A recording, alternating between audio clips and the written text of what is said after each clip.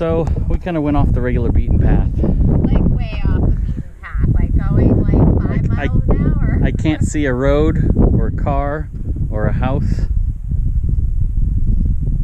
I can't hear anything.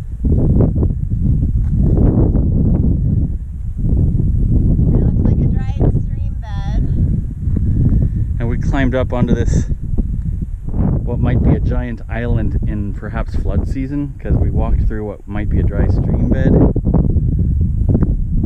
And it's all right next to this little mountain range right here.